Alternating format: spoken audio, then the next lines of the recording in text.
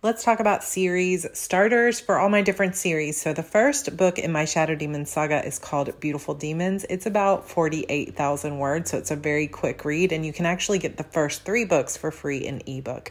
Just look at the links in my bio. Another series is called Sacrifice Me. This is actually set in the same world as my Shadow Demon saga. It was originally published as a serial, so there are actually seasons, kind of like a TV show.